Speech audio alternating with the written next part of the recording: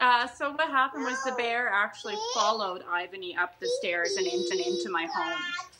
And um, I was talking with a family friend, and he had his back to the sliding door that the bear came through.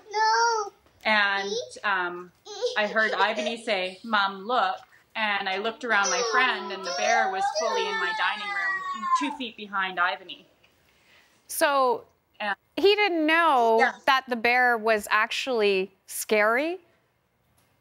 I don't think he did. Ah. I really don't.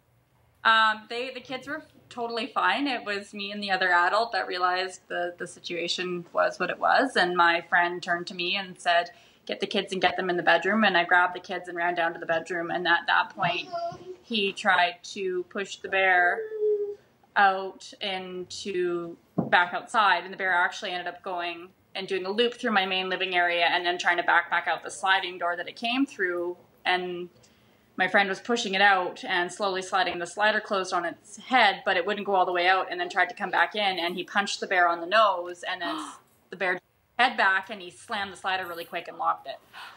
Okay, let me get this correct. So you and the kids stayed in the bedroom and your friend chased the bear out of the house and punched it in the nose.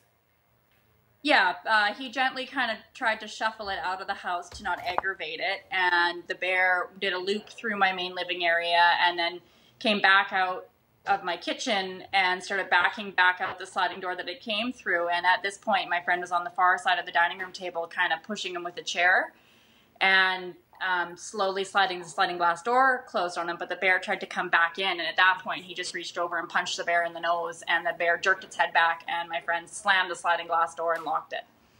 And then what did the bear do at that point? Did he just walk walk and away? then the bear was trying to get back into the house. So at that point, my friend came and grabbed me and the kids from the bedroom and said, "Get down in the basement," because the bear's trying to get back in.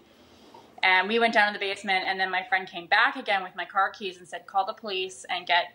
The kids in the car and go because the bear was getting more aggressive, and um, so the police came right away, and they were they were great, and they scared the bear away and we all kind of thought that would be it. That would you know that was a kind of a one-off and it wouldn't happen again. But when my friend came back later to check and make sure everything was okay the bear was actually back at my house trying to get in through my carport door saw my friend standing at the top of my driveway and chased him down the street a full block so into his truck can you kind of give us perspective of how big this bear was? Was it a smaller one? Was it a bigger one? uh, the police estimated he was, he was 200 to 225 pounds so he was an, a you know a fair size adult male Now, he when was small he was not small, but when you're going through this, were you afraid at that point, or is it kind of looking back now? It's looking back now because I could hear my son coming up the stairs, kind of giggling, saying, Mom, look, Mom, look. He really didn't realize the, the severity of it. And I wonder if that's why he was not harmed because he was so calm. So was your it. was your little boy playing outside and then walked in the house? Is that when the bear came in? Was the bear? So, yeah, what happened was we had just come home from getting some stuff to do some renovations in the house. And I opened the sliding glass door. We didn't see the, bar- the bear when we pulled in, and we had literally just pulled in. And I opened the sliding door so the kids could go down into the backyard.